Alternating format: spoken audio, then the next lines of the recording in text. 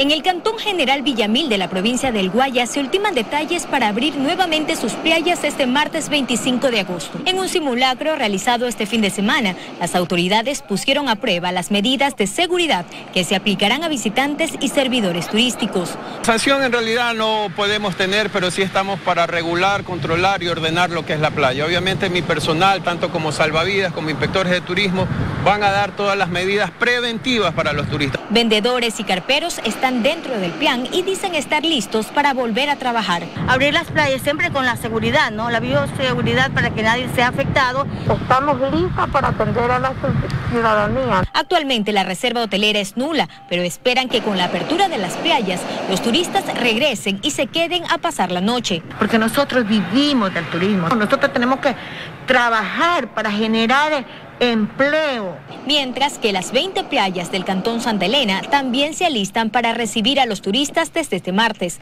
Olón, Montañita, Yangue, Manglar Alto, San Pablo, entre otros balnearios, retoman sus actividades. Que cuando venga el turista, venga, entre a una playa, encuentre a un eh, guía, a un guía ambiental que te oriente cómo debes comportarte dentro de la playa, cuáles son las normas de uso de la playa, de saber que la playa se va a abrir a las 7 de la mañana, se va a cerrar a las 6 de la tarde, de que no puede haber ingesta de alcohol, de bebidas relacionadas al alcohol. Y aunque la playa está fría, el comercio y la gastronomía aspiran a convencer a los turistas. Que anhelamos ya que la gente comience a venir. Es hora de que eh, abran las playas porque ya mucha gente de otros lados también quiere venir a disfrutar.